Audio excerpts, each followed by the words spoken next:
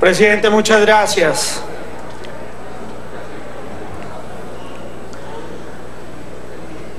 Apreciados compañeros, quiero decirles que el Centro Democrático sí quiere la paz. Una paz con un blindaje jurídico y un blindaje político. Una paz que perdure en el tiempo. Una paz que nos una a todos. Una paz que no genere violencia a las futuras generaciones.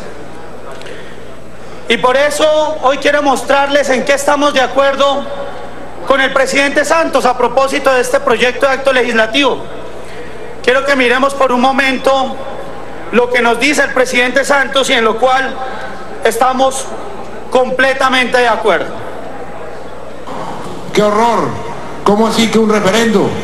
Entonces yo me pregunto, ¿y cómo le vamos a consultar al pueblo colombiano si no es a través de un procedimiento como un referendo? Queridos compañeros, estoy de acuerdo con el presidente Santos en que hagamos un referendo. Por eso se hacía innecesario ese plebiscito. Un referendo donde se le pregunte a los colombianos ampliamente, transparentemente, sobre los temas agrarios, sobre el tema de participación política, sobre el tema de justicia y sobre el tema de entrega de armas. Igual, sobre el tema de drogas. Por eso hoy le pido al presidente Santos, a ustedes, apreciados congresistas, de una forma reflexiva, que el presidente cumpla su palabra.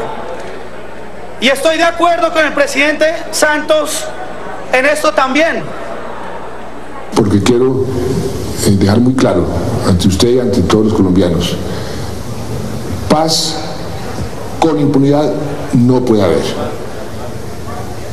La paz se tiene que dar con justicia y esa justicia implica que las FARC tienen que ser investigadas, juzgadas y condenadas por los delitos que han cometido.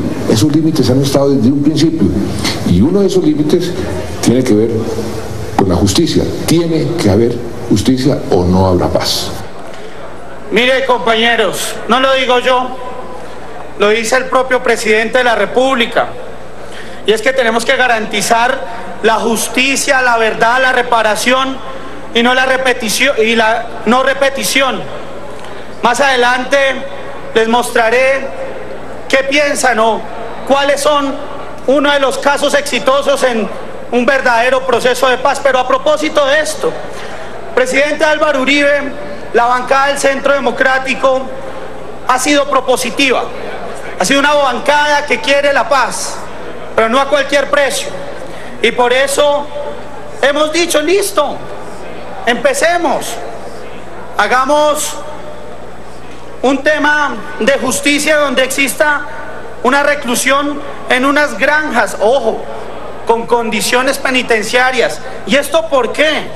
Es para que se blinden ante la Corte Penal Internacional, para que en el futuro el próximo presidente no tenga el chicharrón o el problema que cuando capturen a uno de estos exmiembros de las FARC y la Corte Penal Internacional asuma competencia, nosotros no tengamos que mirar cómo solucionamos el problema. Por eso le pedimos al presidente Juan Manuel Santos que cumpla, que honre su palabra.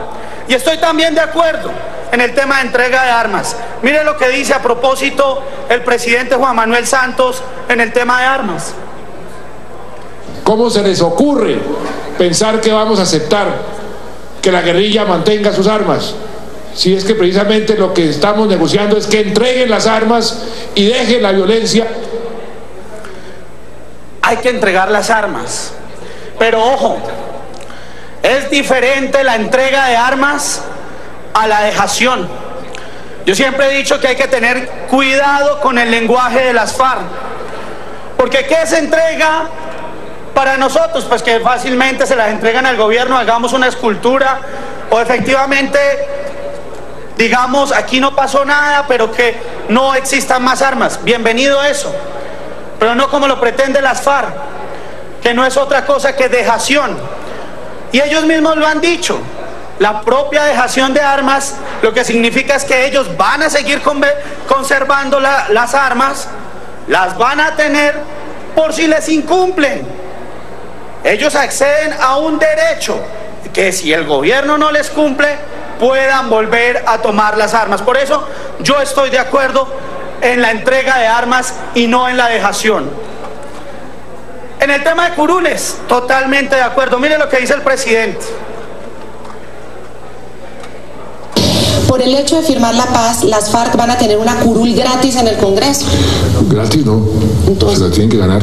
Tienen que ir a campaña. Tienen que ir a campaña. Gratis no. Se lo tienen que ganar. Mire cómo es el presidente coherente con nosotros. Yo creo totalmente lo mismo pero que aquellos que cometieron crímenes atroces hay que decirles la verdad, señores. La constitución y los tratados internacionales les permiten hacer política, acceder.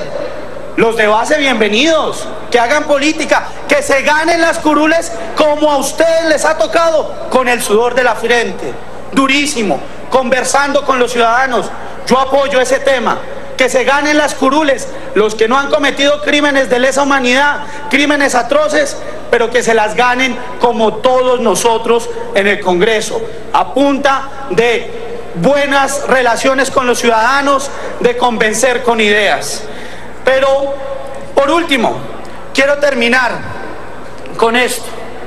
En días pasados, compañeros, tuve la oportunidad de asistir al Premio Nacional de Paz. Oh, belleza eso me llenó de orgullo, me llenó de fe construir un verdadero proceso de paz. Quiero que miremos lo que dice el presidente Santos y quiero que reflexionemos sobre estas palabras a propósito. El que les va a hablar... Lo menos que esperaría de las FARC es que pidan perdón por lo ocurrido en el Cauca la semana pasada y por las violaciones a los derechos humanos y crímenes de guerra que les son atribuibles. Y le pido perdón a, las víctimas que se encuentran aquí, las que se encuentran en Mampuján, en San Cayetano y todas las víctimas de los Montes de María. Les pido perdón. El perdón del que usted habló ayer de parte de Dios para usted no está tan lejos. Si sus palabras de arrepentimiento son sinceras, porque el que se arrepiente alcanza misericordia. Consideramos como comunidad que ustedes nos dieron tristeza, pero hoy hablamos de paz y de reconciliación y creemos a esa verdad de que ustedes dicen van a decir El que pide perdón de corazón alcanza misericordia. Esto a propósito de las personas que sufrieron los crímenes de los paramilitares. Condenable desde todo punto de vista. Pero esto me hizo ratificar, compañeros y amigos, sobre la importancia de hacer un verdadero proceso de paz, donde exista la justicia, donde se reparen a las víctimas como ocurrió con los paramilitares, donde se pida perdón de corazón. Mire, este tipo, Juancho Dique, decía, yo me creía el dueño de la vida de los demás y me arrepiento y les pido perdón. A eso, a eso es que queremos llegar, para que nuestra historia escriba que no se volvieron a repetir esos actos de violencia que a nada, ni a nadie, ni a ningún colombiano le gusta. Muchas gracias, señor presidente.